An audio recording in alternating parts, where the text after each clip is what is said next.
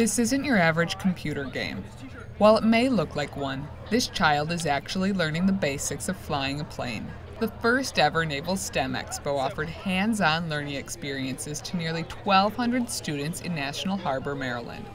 The purpose of the expo was for motivation, according to the Chief of Naval Research.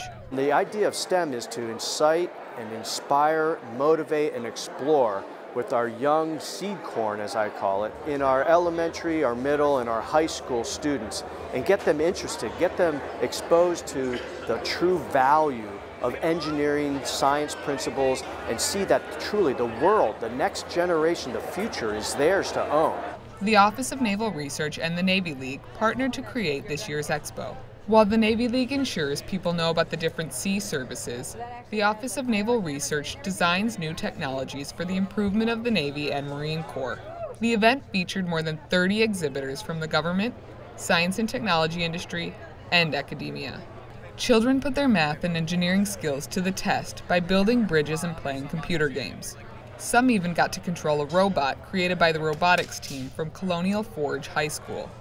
One member of the Stafford, Virginia based team said he enjoys helping younger students get excited about tech.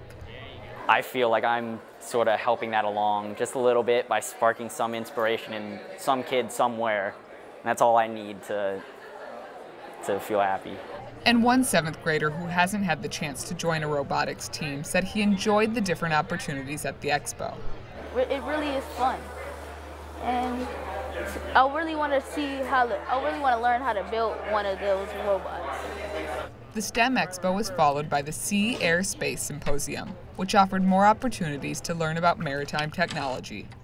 Michaela Meaney, Medill News Service.